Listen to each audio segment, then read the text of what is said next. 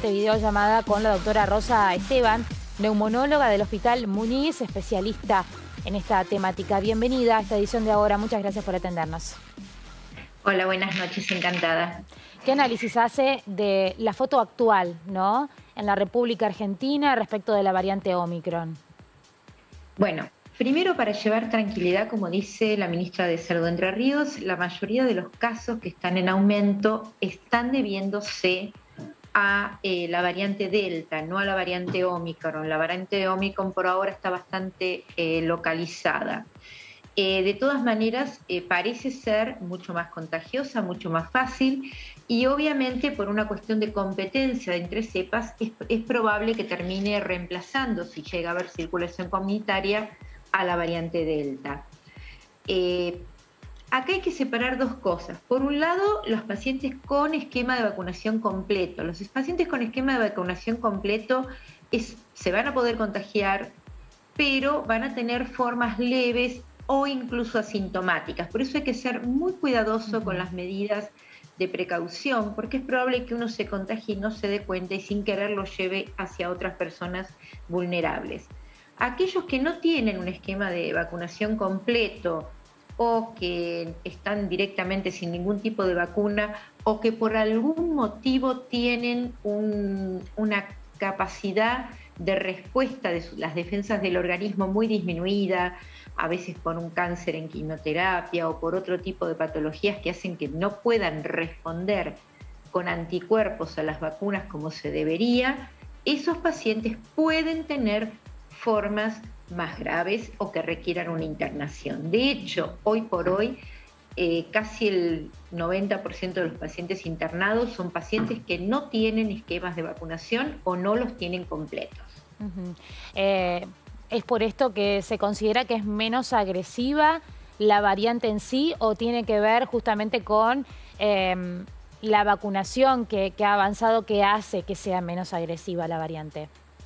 Bueno, llevamos muy poco tiempo. Esta variante se descubrió alrededor del 25-26 de noviembre, por lo tanto es muy pronto para poder afirmar si es más agresiva o menos agresiva.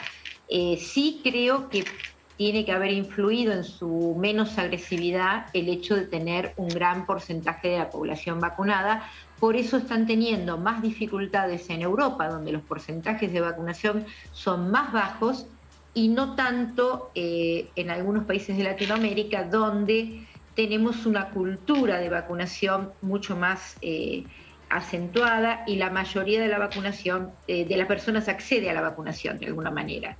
Salvo, bueno, algunos que les han metido en la cabeza algunas tonteras que no tienen sentido, pero bueno. Y en, y en este caso, ¿no? Teniendo en cuenta que estamos atravesando, estamos por ingresar al verano, ¿no? donde em, ya vimos el, año pasado que bajaron los, contagios, ahora estamos en una etapa de eh, ascenso. Em, ¿qué, puede ocurrir en esta, en esta etapa, ¿no? donde mucha gente está circulando por el país, donde se, el turismo está en un, en un buen momento, que era algo que estaban esperando? ¿no? Totalmente. Y yo creo que, bueno, el turismo puede seguir funcionando y todo puede seguir funcionando. Eh, lo que ocurra, y va a depender de alguna medida de todos nosotros, de la responsabilidad de todos nosotros.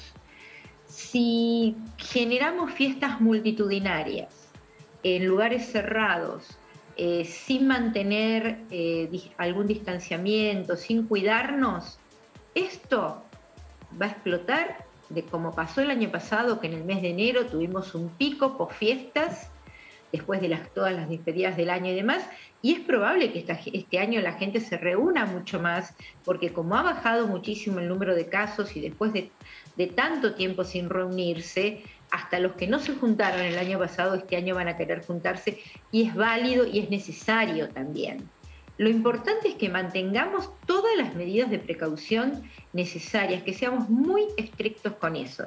Si somos muy estrictos con eso, mantenemos bien las medidas de precaución, eh, puede haber un aumento de los casos debido a, las juntadas de alguna manera, pero no creo que sea eh, lo que sucedió el año pasado, ni creo que impacte en el sistema de internación de salud de la manera que impactó el año pasado. De todas maneras, recuerden que hay personas con un sistema inmunológico disminuido que por más que tengan las vacunas completas, si los contagiamos los ponemos en riesgo. En ese, en ese sentido. Cuidar al otro. Sí, en ese sentido, ya para, para ir cerrando. Eh, obviamente el hisopado resulta fundamental ante la aparición de algún síntoma. Los síntomas son más leves, es lo que se está viendo, ¿no? Con Omicron. Los síntomas son ¿Ante qué síntomas hisoparse justamente para evitar mayores contagios? Bueno, cualquier síntoma que sea una molestia en la garganta, esta, esta, variante parece tener la característica de no el dolor de garganta habitual que producían las otras, sino como una sensación de garganta rasposa, molesta. Eh, rinitis, que puede ser un resfrío común también, pero bueno, hay que corroborarlo.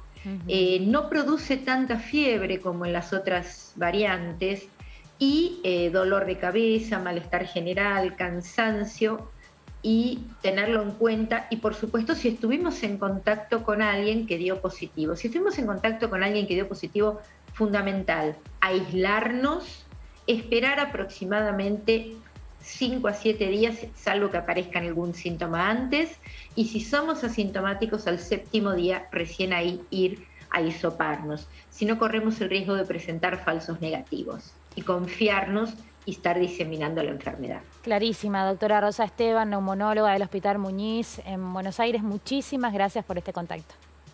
No, gracias a ustedes. Hasta luego. Hasta luego.